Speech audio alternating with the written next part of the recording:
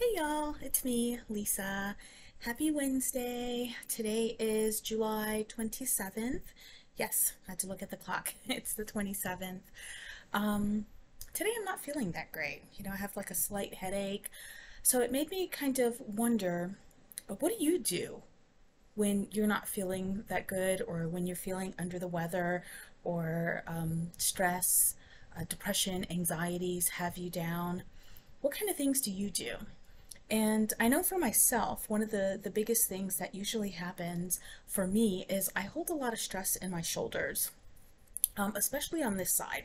So a lot of times I'll just kind of close my eyes and um, I'll try to focus on my breathing and I will breathe in and then out like so. In again and slowly exhale through the mouth.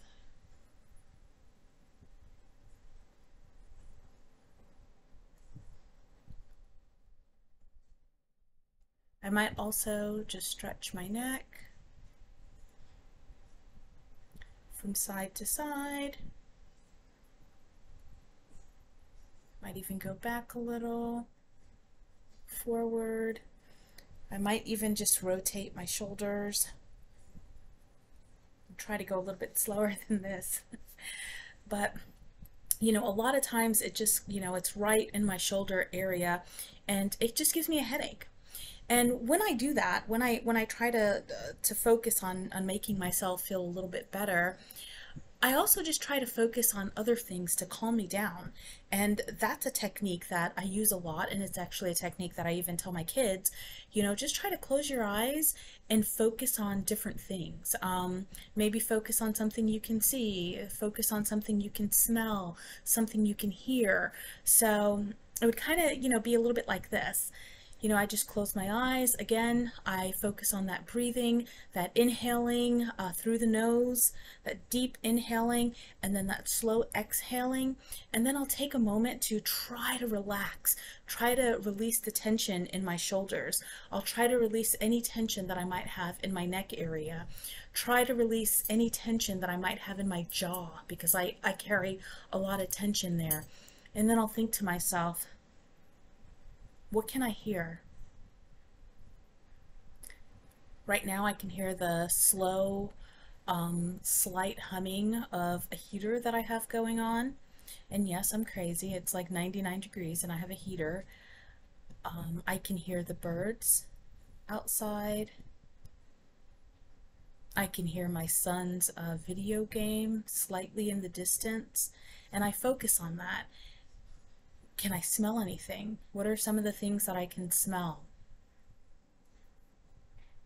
I can smell the aromatherapy mist that I have in, in the room right now. And then if you're really tense, you might want to say, what can I feel? I mean, one of the, the quickest things you can feel is yourself. Sometimes you have to hold your own hand to get through something difficult. Um, what else can I feel? I can feel the computer in front of me. I can feel uh, my desk.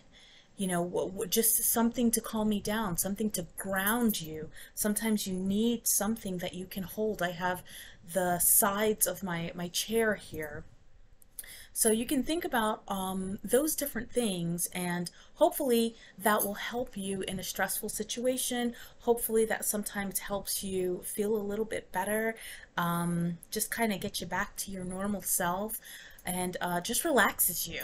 So those are just some of the things that, that I do when I'm not feeling that well or when I'm stressed and when I'm trying to uh, just, you know, center, center myself again, center myself and ground myself and, um, bring myself uh, back to uh, I'd say a leveled a leveled playing field, uh, whatever that is, because I'm not that leveled. So those are just some of the techniques I decided I was going to make a quick video and share um, when I'm not feeling well. Have a good day, y'all.